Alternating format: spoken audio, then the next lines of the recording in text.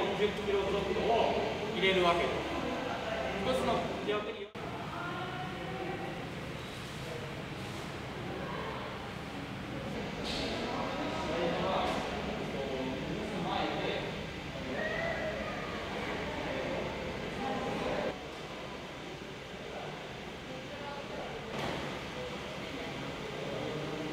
8個あるので8人味噌塗るの手伝ってくれる人手で塗っちゃう全面に。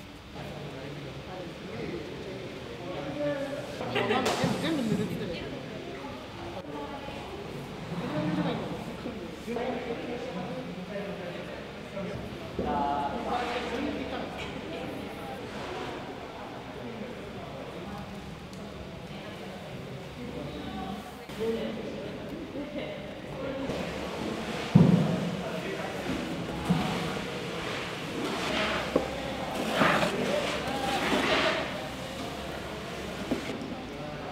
えっと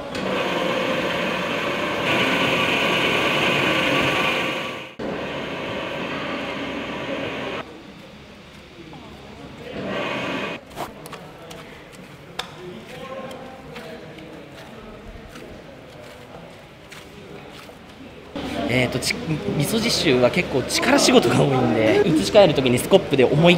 重いものを移し替えたりするんで結構力いる作業が多いです。